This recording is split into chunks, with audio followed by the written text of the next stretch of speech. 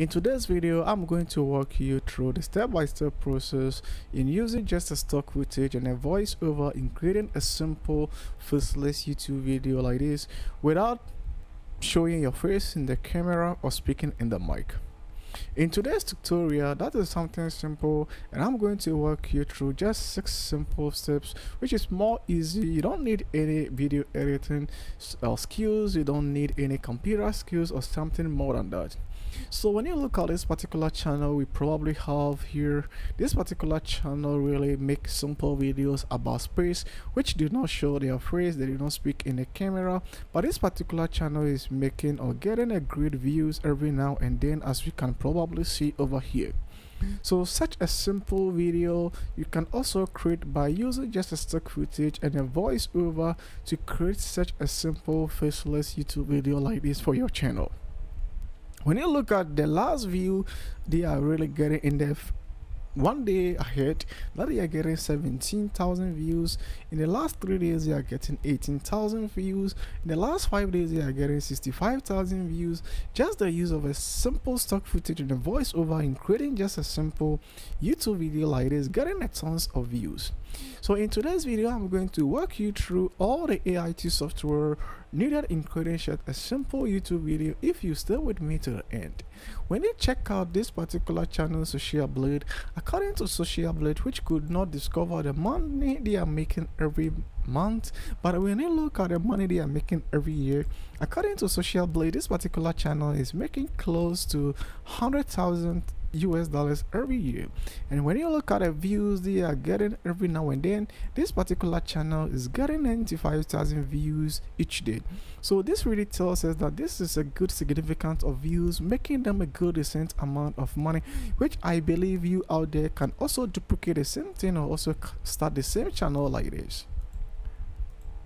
So when you look at this particular channel also which is called Animal Insider, they are also doing the same thing without showing their face or speaking in the mic, just using a stock footage and a voiceover in creating just a simple faceless YouTube videos without so showing their face channels, just uses a stock footage of different dog breed in creating just a simple YouTube video.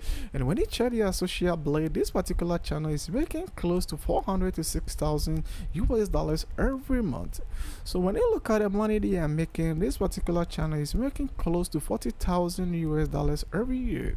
And they are not getting less than 42,000 views every day. So this is really a good significant of amount of views. That is really getting them amount of money. And when you check the views they are really getting this really tells that such a faceless youtube videos can probably make you a good decent amount of money for a living so in today's video we are going to use the pet niche as an example or for our tutorial. So i already have a niche which is the pet niche and i already have an article in this particular pet niche.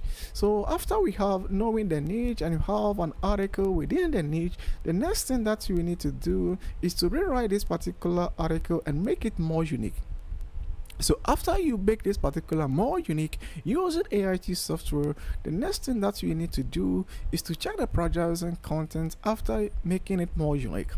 And the next thing that you, after checking the plagiarism that you need to do is to start creating your voice over all your voice clip using a text-to-speech software and the last thing that we'll be doing after that is to start creating our video using a video creation software so guys in this particular article i'll just scroll down and check and see if it has a little more information that we can talk in our video and we could probably see that it talks what it talks in the article is the characteristics, the brain history, the training and care, the health problems, the diet and nutrition, and more.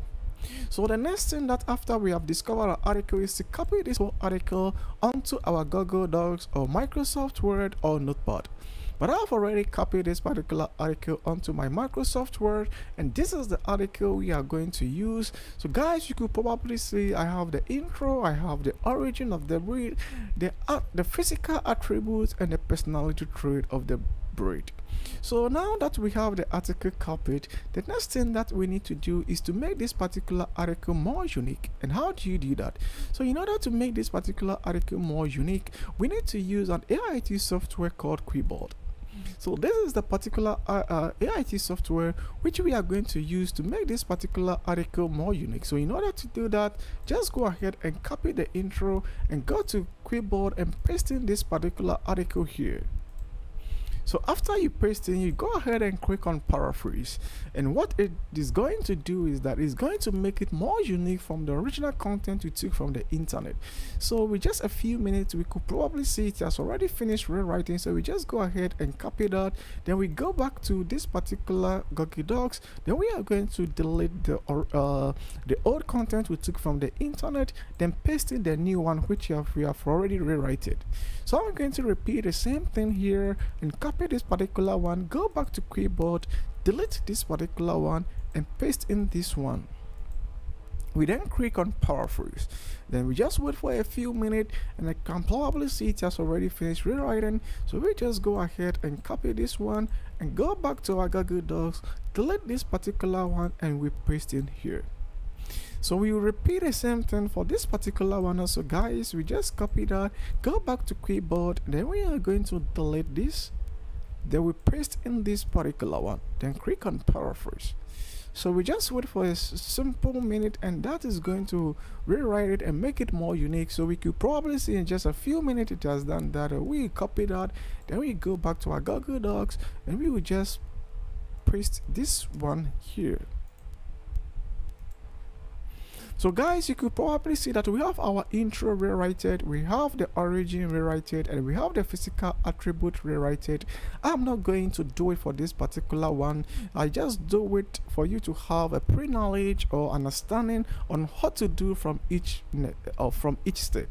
So now that we have a couple of our script being rewritten and make it more unique, the next thing that we need to do is to check if truly this particular article is really genuine and it has no sort of plagiarism in it.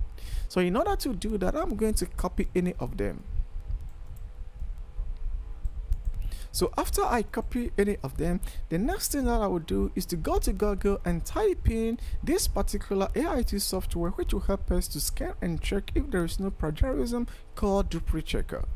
So guys, when you go to Google and you type in Dupli Checker, it's going to bring you to an interface like this. So when it comes here, just paste in your article over here or your script over here and kindly scroll down and click on I'm not a robot. So after we have finished clicking I'm not a robot, the next thing that we need to do is to check plagiarism. So we just wait for a few minutes and this Dupli checker is going to scan the whole document guys and check if there is no bit of uh, plagiarism content left in this. So when we see that there is no any plagiarism in our script, then we are confident to use this particular script. So now that we are waiting for it to check the plagiarism content guys, I'll head on to our Google Docs.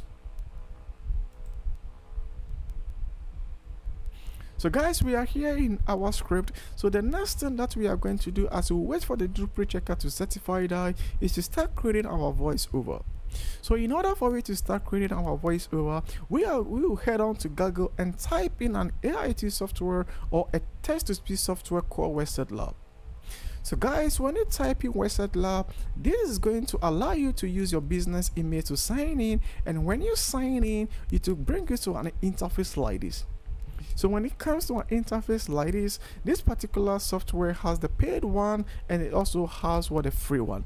So the free version allows us to use this particular uh, software or a text-to-speech software for 7 days which comes to 50 clips. So now when you look at my right hand side over here, this particular it comes up with what with a with a with a pop-up which indicates the free version and when you scroll down here it indicates the paid version but for the sake of today's tutorial we are going to use one of the free uh, the free voices.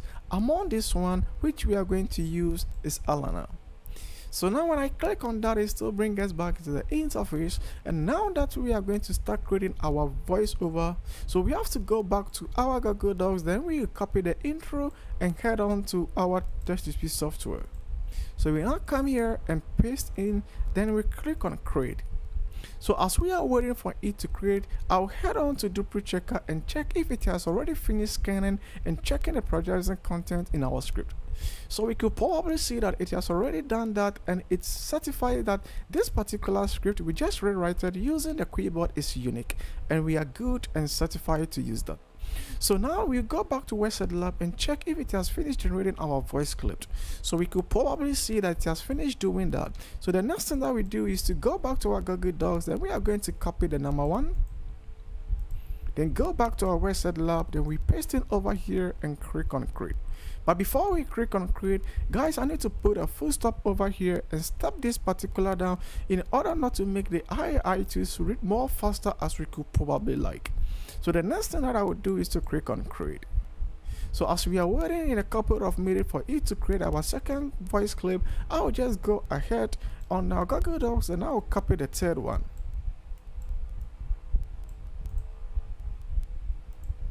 Then go back to WellSaid Lab. So we can probably see it has already finished creating the second one. So I will go ahead and delete this.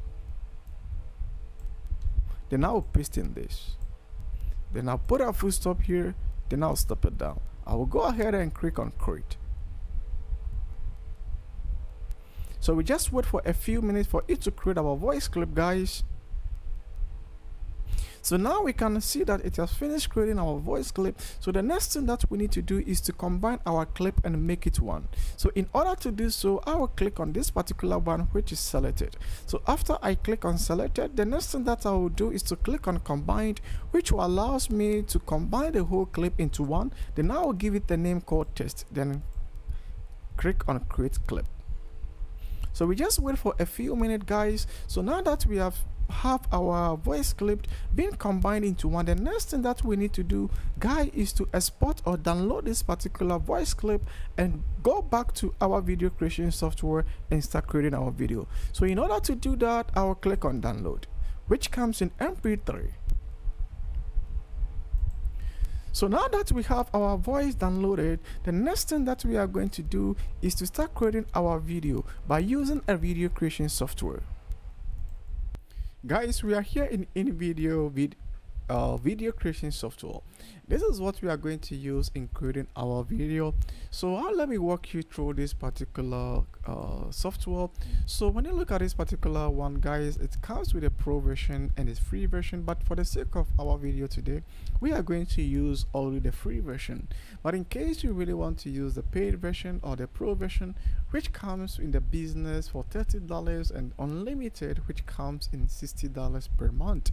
So probably the reason why you're supposed to use the uh, uh, the paid version is because at the end of creating your video and if you want to export your video guys you still see the watermark of InVideo logo in it which is not good to use for your youtube channel. So i have leave a link in the description below. So in case you want to use that you can go ahead and sign up and get 25 percent discount off. But for the sake of today guys we are going to use the free version. So let's go ahead and to wait. So now we are here in the interface of InVideo. So when you look at my uh, my left hand side it has a pre-made template. The middle one talks about text to video and the next one talks about blank canvas so guys we are not going to use the pre-made template or the text to video. So what we are going to use in creating our video is the blank canvas so i will just go ahead and click on that and that brings us to this particular place to choose the particular video side we really want to use. So we could probably see we have the wider side which is 16 by 19 and we have the square side which is 1 by 1 we have the vertical size which is 9 by 16 but for the sake of our video we are going to use the wider side which is 16 by 19 so after choosing the side the next thing that we do is to click on make a video. So this is going to bring us to the storyboard of this particular video creation software. So guys we just need to wait for a little bit as it is taking us to the storyboard in order for we to start creating our video so we are just here guys again in the storyboard. So the next thing that we need to do guys is to start importing our voiceover.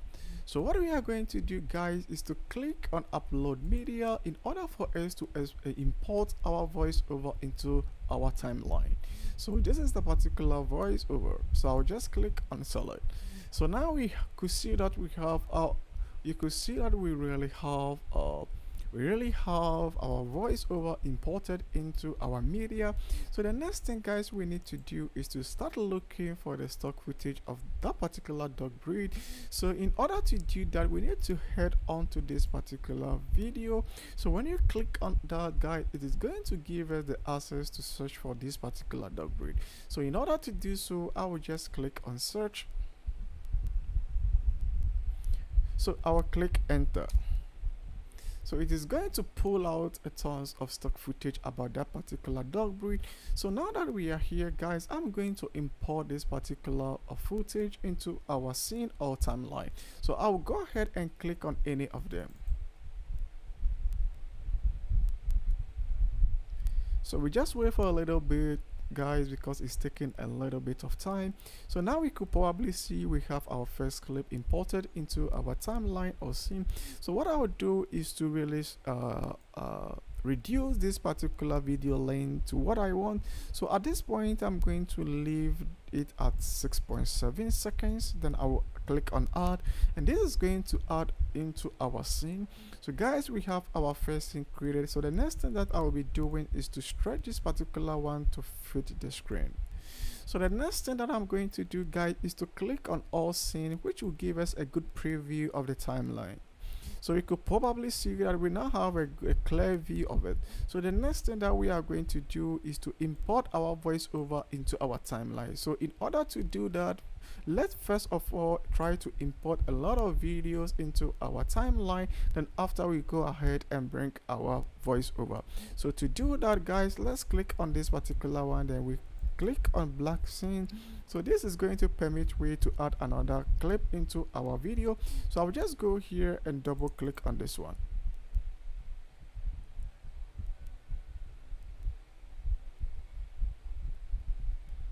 so now we are going to trim it to the size we really want.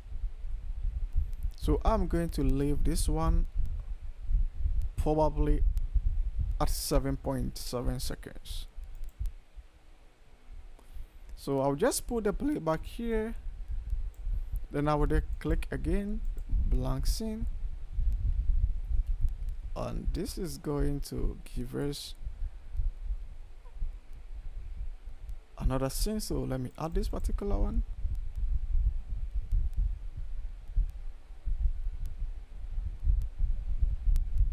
So I'm going to trim it or leave it in 7.4 seconds so guys in order for you to trim you can just use this particular arrow to just trim or you can just use this particular one which is trim to fit video or sorry trim video to fit screen. So any of them guys is good. So i'll go ahead and use this one. Then after clicking on that i'll click on add. And that is going to add onto our timeline. So we just stretch it to fit screen. So the next thing guys we are going to do is to add two or three more so I'll just click on this one. So I will just stretch it a little bit. So the next thing that I'll do is to import another video.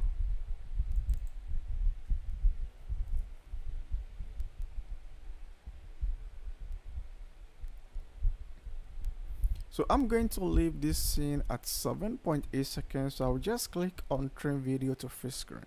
Then I'll click on add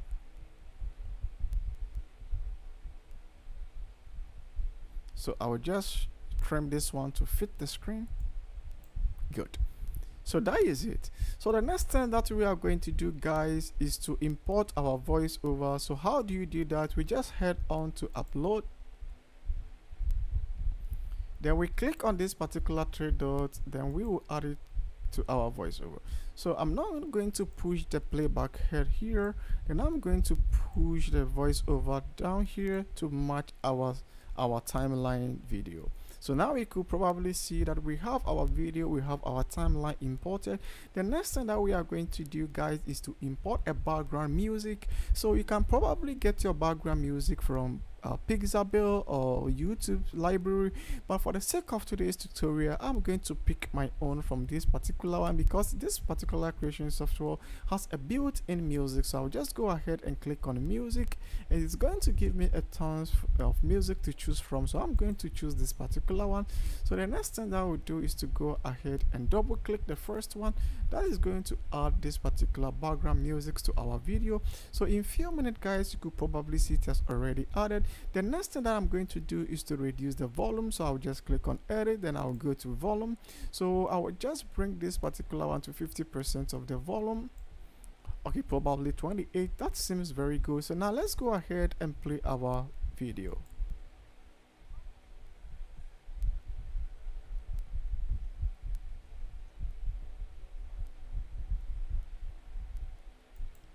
So guys, you could probably see we have already added the background music and the voiceover and our clips. So the next thing that we can probably do guys, you could see in between the two videos, we have a white square over here with a horizontal red line. So the next thing that we need to do is to add a transition in between these videos. And how do you do that? We have to go ahead and click on the white one, which will brings a pop-up like this and it has a tons of transition you can choose from. So the next thing that we are going to do is to choose this this particular one then we do the same thing to this particular one also.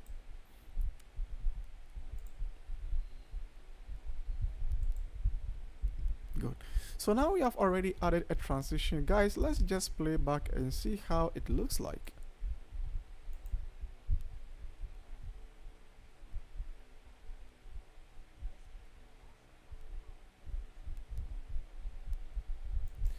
so this is how guys it really looks like. So the next thing that we need to do when you check in between this particular scene guys you can see it has a text in it. I you can also add a text to your video but for the sake of today's video i really don't need this particular text across all the video. So the next thing that we need to do is to go ahead and delete that so now that we have already deleted the test, you can probably check the rest of the scene. If you have a test in it, you can also delete that. So now you could probably see we have a logo here. Guys, what you can do is you probably have a logo of your channel, you can really add onto your video by double clicking on that. So now the next thing that we need to do guys is to learn how to add a test to this particular video. So the next thing that we are going to do, I will go ahead and delete this particular test in between, which I don't really like it. So now that we have the test deleted now when you look at our script guys the number one text about the origin of pomeranian. So we need to add that particular test into our video.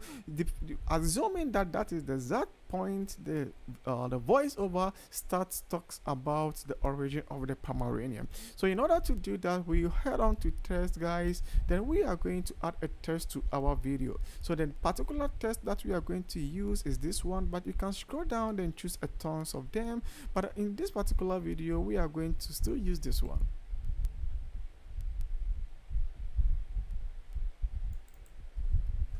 So just double click on that and that is going to be uh, imported into your video. So now we have our test added to our scene. So you could probably see here on my right hand side it added to uh, text to that. So I will go ahead and delete one. So we now have only one test added into our video. So the next thing that I will do is to double click it. That will give me access to play around this one. So I'm going to delete this particular test within that. So the next thing I'll do is to type in Pomeranian origin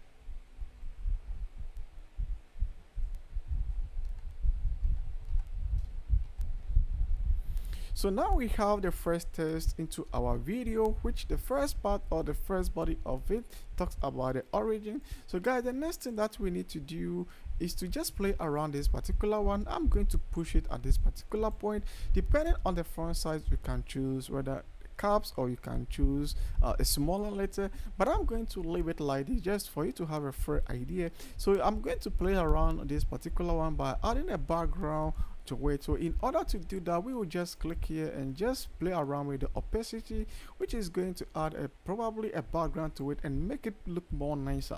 So guys you could probably see it has already added a background to the text which looks more nicer as we could probably like. You can also choose a different color from this particular portion if you really want to change that.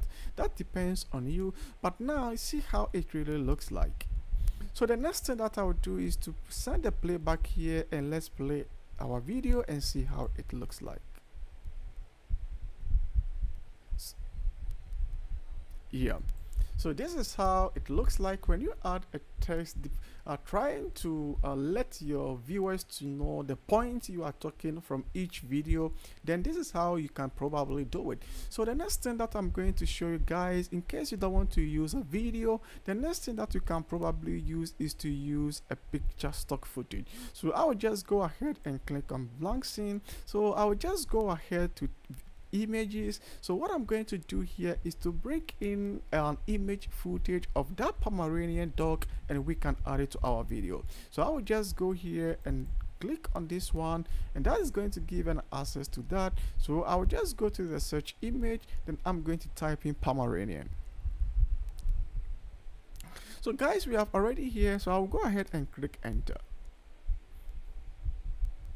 so now we could see it has bring a tons of that and the reason why you are seeing this iStock because it is a paid version or a premium version. So if you want to use this particular one you need to subscribe to the paid version in order for you to enjoy this. So I'll just go ahead and pick any one of these particular pictures and add it onto our screen. So I'll just go ahead and pick this particular one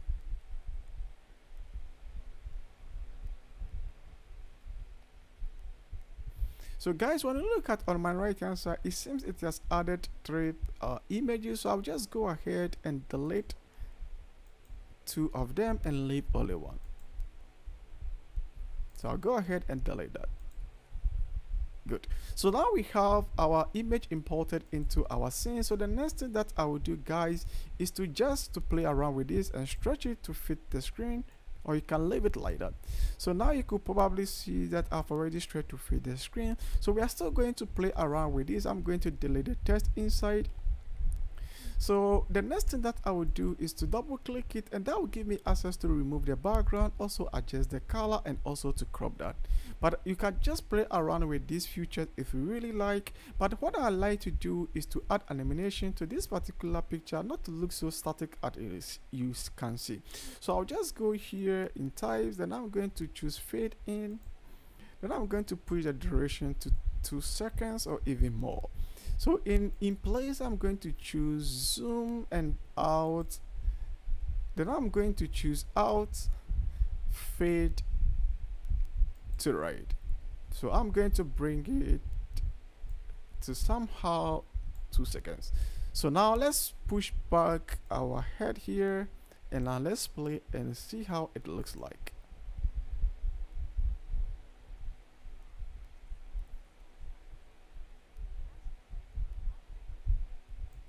So guys, this is how you can play with the picture by adding motions to it which make it looks more appealing. So you could see that it is fading in or out and later it fades out to the next video. So that is all that we can talk about today's video. So the next thing that i'm going to tell you guys is to learn how to add a subtitles to your video and that is going to make it more unique and going to make it more nice. So guys if you really learn something in today's video try to leave me a comment and try to like or share this particular video. And also don't forget to subscribe to my channel. And if there is something more i'm going to reply to you in the comment section. So now that we are done creating our video we will just hit onto the export and we are going to export our video and then upload it into youtube.